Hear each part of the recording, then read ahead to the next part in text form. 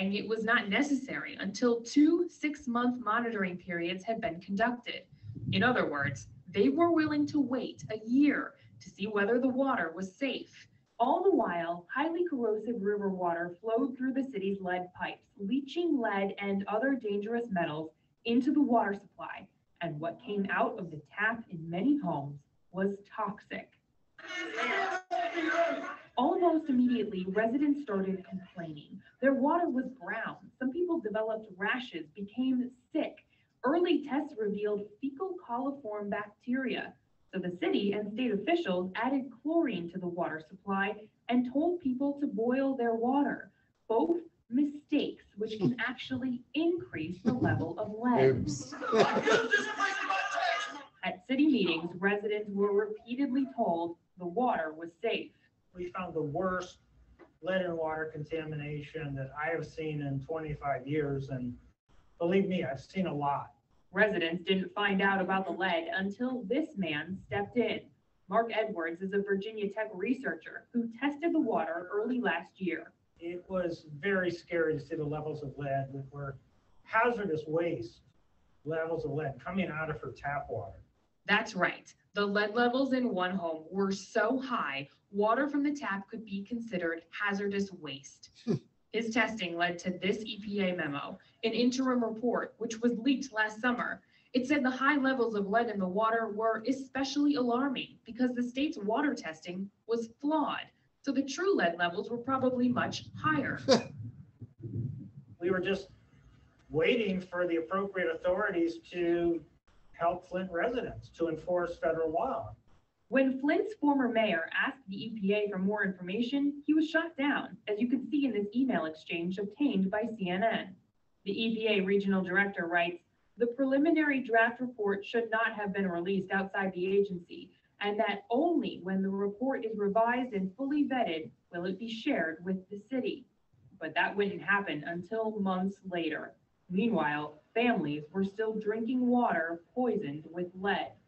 The EPA blames the state, saying in a statement to CNN, what happened in Flint should not have happened, and that the EPA's ability to oversee was impacted by failures and resistance at the Let's state and local level. else. The state was continuing with its own mistakes, according to Marc Edwards, butchering a round of water testing.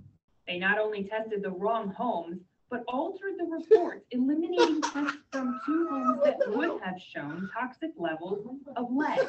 The state says the changes were legitimate. They fabricated a report that made it appear like uh, Flint was passing the lead and copper rule with flying colors. In the fall, the government admitted that there was lead in the water and Flint was switched back to Detroit's water supply. But it wasn't until earlier this month that the state of Michigan started bringing in bottled water and declared a state of emergency. Right, isn't that insane? That's something else. we'll According to the EPA, the average American, Yep, yep, yep, go. All right, so what, what, so what? It's lead, no worries, right? Uh, just lead.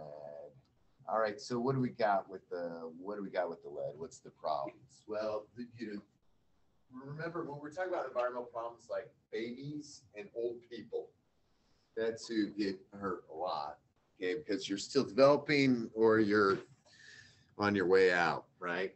And uh, things just don't work as good anymore. Okay, but we've got IQ, behavioral changes, hearing problems, muscle weakness, kidney problems, abdominal pain. That was what that one picture was. Um, anemia, uh, uh, hypertension, lots of problems in children. Again, learning difficulties, hearing loss, muscle weakness, vomiting. Okay, uh, in adults, we can see some problems for sure. Here's a big one: reduced sperm count. Oh boy. Okay, numbness and tingling in the um, extremities. Think about pregnant women could um, cause a miscarriage. Again, mental issues. Okay, We uh, even in pets too. Your pets uh, could make them go blind, diarrhea, seizures. Okay, so uh, pretty pretty crazy. Um, these foods may help protect you and your family. Okay, um, eating healthy snacks might help with some of these things, calcium, iron, zinc, vitamin D, but again, it's no end all be all. I want to talk a little bit about Legionnaire's disease too. Mentioned it the other day. when We were talking a little bit about E. coli in uh, in the lettuce. There was also an increased number in Legionnaire's disease cases when that was changed. Some of the same thing, but uh, fever would go with this. So more of like something like uh, like maybe it's a flu sort of thing. Uh, but this is because of this bacteria that existed. Okay, and if you look at the cases here around Flint, incredibly huge amounts compared with the rest of other places in Michigan. You can see those things jumping after it switched its water supply. Okay, and then boom, once it switched back down. So a lot of problems. Okay, can't see lead, you can't you can't boil lead out of there. Okay, um, you're like lead itself won't change the color. There was a lot of other stuff going on, right, in, to cause that brown color in that um, in that water. Okay, um, so you know what do we do? We can filter water, unfiltered water for mopping floors and washing clothes. But you got to also remember that, like, you may not be drinking lead. Where else in your house could lead get into your Right. body? Right. Air conditioner. No, no. The shower, baby. You don't think about it. Your skin protects you from a lot of stuff, but your skin absorbs things. Your shower can be incredibly dangerous, which is crazy to think about. But you don't think about that, right? You're not drinking. Maybe you are drinking it, right? Uh, you brush your teeth. Anybody brush your teeth in the shower? I know some people do that. Some people actually say that's a good water time and saves water, right? You don't have to turn the sink on. You're right there. You're brushing your teeth in the shower. Wait, is your mind blown? Did you think you've never thought about brushing your teeth in the shower? Oh yeah, I don't do it, but I thought about starting. I do pee in the shower every day. Right, there. It all goes to the same spot, huh? As soon as you get any pee. Yeah. Is it a water thing? I think it is too. Sometimes I turn on the sink and I have to pee. Anybody else with me here? You're doing dishes. You're like, oh god, I gotta pee. I had a student once. I won't name names. A little he said like when she pumped gas, have I told you this story before? She has to pee. Like, so she said like at her house, because she lives on a farm, they use the gas there, you know, on the farm. Okay, yeah, right? And she's like, oh God, so she just pees. I'm like, what if you go on like a trip, a road trip? She's like, I don't pump. Okay, there you go. So uh here we go. So I told you all those things. This comes from uh our town. Okay, so what do we got in our town? They release this every year. This is the one I could find on the internet. Um, but uh, if you look at this sort of stuff, we can look at what we've got. Arsenic is in our water, copper. We got some fluoride. We do we do not add fluoride to our water. Okay, dentists are angry about that, but uh, but uh, we don't do it because some there was a study done by a Manchester University professor like back in the 60s and said we shouldn't do it because of this environmental damage. I don't know. I need to, I think we need to go back and relook at that. But I know a certain dentist that's like we need to change that. Don't want to name names, but all right. So uh all these things, but look at this. So this is right here from our water. Okay, and does it violate? Okay, notice we sampled these things here. We detected it, but it still meets the level. They're not in violation. So we do have arsenic in our water. We have copper. We do have some fluoride, some nickel, nickel, lead. Okay, but it doesn't violate that. So we have these maximum containment levels, which say like, okay, let's go ahead and allow some in because sometimes it's unavoidable. Where's arsenic coming from? Erosion of soil. Okay, where's copper coming from? Pipes, copper piping, right? What about fluoride? Natural deposits, lead, pipes, nickel, soil, nitrate, runoff. sodium runoff. Okay, we can't avoid that. There it is. But look at this, trihalomethanes. Okay, we put them in there. We just make sure they're not getting out of the plane. Okay, chlorine residue, we got some of that stuff. Okay, we've got to stay within this maximum containment level. Okay, all of these things, we're trying to control microbes. We got to disinfect the water if you want to drink it. Okay, does that mean out in the country you shouldn't have these things? Okay. Yeah, that's just the way it is. You're still you're you're getting higher levels of all these things. I don't know. It'd be fun to kind of test your well water and see if you are over the maximum containment levels.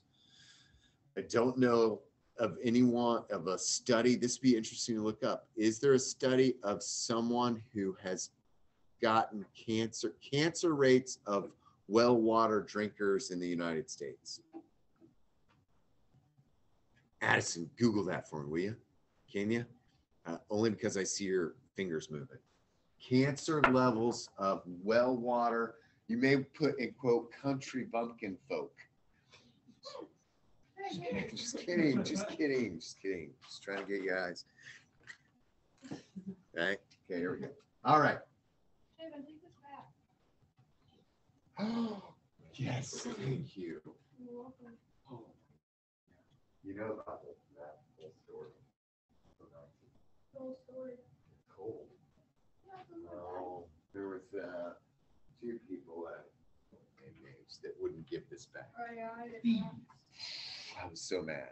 I started this a long time ago, this jungle. So this jungle, I, yeah, yeah. So this is my writing. So the idea here is that, um, the current leader of the jungle Oh, gets gotta write my this. you Yeah, you gotta write your note in here, girl. Yeah, And get that. so I started this because I used to run the jungle and then I, I got married and had kids and I had to quit. And so um, I thought, huh? You would have been good at it. You shouldn't have. Oh, man, it was so much fun. Oh my gosh, I loved it. I got, I got yelling matches. Uh, but uh, yeah, to quit. So then my idea was that we would start this jungle playbook and it would pe- be passed on. And then on my deathbed, someone could bring it to me and I could read through the memories. That's okay. This is part of it, man. No, I know, I said it's trash. She was like, oh my god. No, no, no. It's that that's per, that's perfect. I want it to be used and abused, man. You know, but like you got to write some new chants in there too. Like that's the goal. It's like a it's like a living document, right? You continue to build it over time. Like there's cheers in there that I get. I bet I guarantee you guys didn't use this year. You didn't do anything. Didn't. Oh, whoa. We did some. Go buy one in the chance. Oh. I know. My, one of my favorites was um, it was from a Bud Light commercial. Tailgate tested, tailgate approved. Do you guys know I I originated actually even went to a conference and presented the mock the coach. That was I, I started that. That's awesome. That's insane. I started that. I went to a That's- that's one of my conference and like it was an IHSA conference and like um, all these kids came to my session. It was really fun. It was like you want to stir things up, mock the coach, and they were all like, "Yeah!" It was so much fun. Like I had people afterwards like asking me for tip. It was just I felt famous. It was cool. All right, all right. So here's the problem. It's all about risk, right? Did you guys have you guys taken any risks today? Yeah. Yeah, that's the biggest risk of your life right now. Driving to school is the, the highest risk. We're freaked out, yes, about COVID. We're freaked out about, you know, masks up. Look, I'm a masker, you know, like I got my on. I'm gonna I'm gonna obey the rules. I got the vaccine. I get this. But the most dangerous thing we all did today was drive to school. Okay. And if you had more of a of a drive than like two minutes, your risk is higher. Yeah, we don't think about it, right? We don't think about that that aspect until you know we have a tragic accident. Then we're like, oh god, gotta be careful, right? You know, these those things that shakes us up. But every dang day we get up and we drive to school and we don't even sometimes put our seatbelts on and we're texting and we're like fiddling with shit and then next thing you know like that's it right that's the most dangerous thing we we do Okay, lead in our water, yes, is incredibly dangerous too, but there's always got to be that risk. So this is what we have to look at. Okay, are we looking at like things that are are happening like acute, like something like immediate? We're looking at something that's like a long term problem, right? The problem with my lead in my water, okay, at my house is that it's really low. It meets the it meets all the requirements. Is it right that I have lead in my water? No. Okay, but that's the way it goes. Should I accept that? I don't know. I deal with that. Okay, I deal with it. And sometimes I, when I'm teaching this, I think like, shit, I should probably redo all my piping. Okay, but you've got to think about yourself like, what it, what are we doing? Are we controlling something for long term? Okay, are we looking at like, what are all of these factors that ultimately create a balance of safe water? Okay, you got to look at like the regulations, the engineering, the piping. We got to look at microbiology.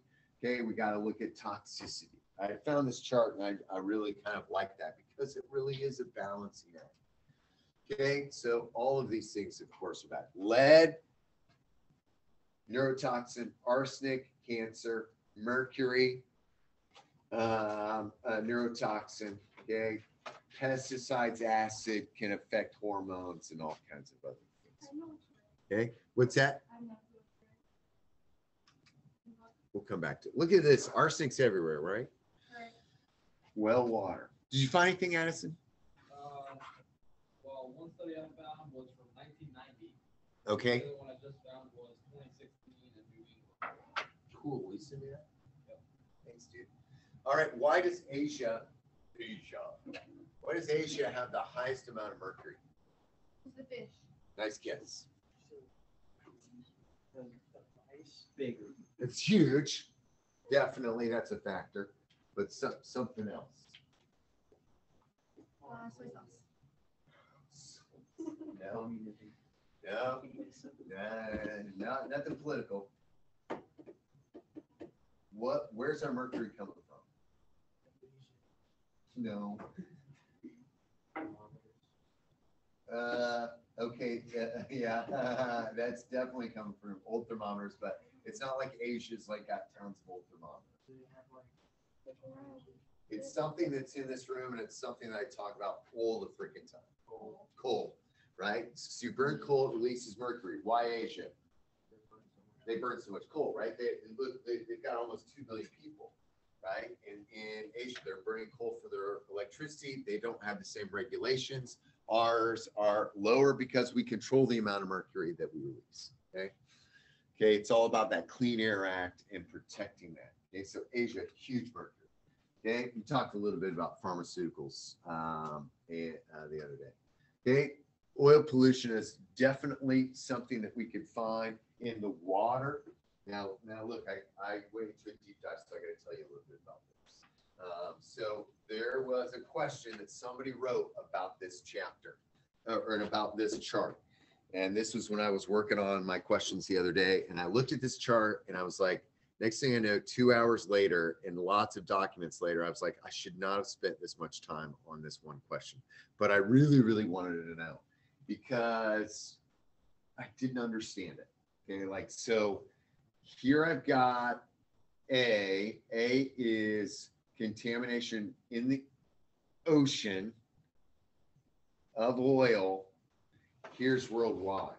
We got nat- natural seeps, so oil's naturally coming from the ocean bottom. Okay. Then we've got extraction. So, like, think deep uh, horizon. Okay. The BP oil spill, right? Then we got transportation, okay, of petroleum. And then we get this weird thing like consumption of petroleum. How does me consuming oil get into the water? Right? But you drink Like it? I'm, you, no, I'm not drinking oil. The- the Okay. Bicarbonate stuff. Okay, Carbon that you emit. okay, okay, okay. I'm gonna, I'm just gonna show you my um, uh, email to my boss because it's long and I just want to show you. All right. All right. So here it is. All right, so my boss, her name is Yolanda. She's great. So here's the, can I just read this to you? Yeah. All right. So I said, this is, I hope you're doing great. Are you seeing green on the trees where you are? Okay, blah, blah, blah. This is not a pressing issue, but I wanted to email you about a thought. I don't know if you have a Friedland fourth edition ideas file. If so, here's something you could put into that file for later. I'm currently working on the feedback and hints for chapter 14. This question came up. Globally, where do 47% of marine oil spills come from? Okay, A, catastrophic oil spills uh, from tankers transporting oil to refineries, tanker and pipeline spills, oil exploration, natural seeps, uh, or E, oil extraction. Okay, someone else wrote the question in the content. I wanted to dig deeper, so I, I too looked closely at figure 43.2. This figure explains where all the oil in the ocean comes from. The pie chart listed, quote, consumption of petroleum 38%. I began to wonder what consumption of petroleum meant. I thought, how the heck does the petroleum I consume end up in the ocean? If it was a small number, I probably would have overlooked it, but 38%, that's huge. I couldn't find anything in the Friedland text that explained consumption of petroleum, so I did some digging. I first went to the link under the chart that took me to this link, that took me to this document, which was a hella huge document. Uh, I eventually found that consumption of petroleum means this significant petroleum hydrocarbon inputs into the ocean related to the consumption of petroleum include river and urban runoff, oil spills from cargo ships, operational discharges from commercial vessels and recreational craft, and atmospheric deposition of petroleum hydrocarbons. What the heck? That's a giant chunk of a lot of things, right? Okay, the thing that you might be familiar with is this discharge from commercial vessels and recreational craft. How does recreational craft spill oil into the water? Yeah, the exhaust, right? Or some leakiness. I've done it. I'm on, I've been on a jet ski before, and all of a sudden I look behind me and I see like that film on top of the water, right? Where what is it? That's gas coming out of that recreational vehicle. Somebody pumps a puts gas into a boat, spills some in the water, and no worries, right? But it all adds up. That's a giant. That's a giant percent right there. Okay, thirty-three percent. But but you got to know this: that most of the oil in the ocean's not coming from Exxon Valdez. It's not coming from BP oil spills from natural natural seeps. Okay, that are coming from the ocean floor. Okay, but the Exxon Valdez is like a big deal. Okay, right?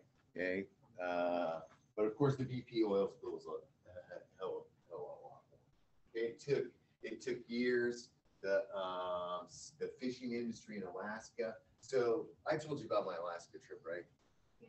Yeah, yeah. So I went up there and uh, and uh, it was the year after the Exxon Valdez spill, and uh, it was they were still cleaning up. It was crazy. Birds, you know, you've seen all this stuff, and uh, over time, what happens is hopefully it, it, it gets cleaned up, but we're still finding oil uh, from that spill in in Alaska. We're still finding oil in the spill uh, in the Gulf. And those of you who've been to like Flora-Bama, Gulf Shores, that Orange Beach, you've seen some of the effects of some of those things. All right, we're almost done here. Thanks for sticking with me. Okay, we can do some things to remediate it. We can use booms to try to clean up the floating oil. There are uh, these dispersants, and that's what we use with the BP oil spill. So we put these dispersants, and everyone's like, "Oh, we can't find the oil." But it's still washing up in these tiny little beads, like on beaches. We find it in weird spots on the bottom of the ocean. Okay, um, there are bacteria that will eat it, but we have not found, or we've not. Some people claim that they've found ways to remediate oil, but we've not used those um, commercially. Okay, last but not least, the fracking industry. We've talked about this. We watched clips from Gasland. Fracking can pollute your water. Why secret sauce there? Yeah, nobody knows what those chemicals are that end up killing, uh, end up, uh. I don't know, like Ohio in the corner. Uh-huh, yeah, I know yeah, what they are. yeah. You know what they are?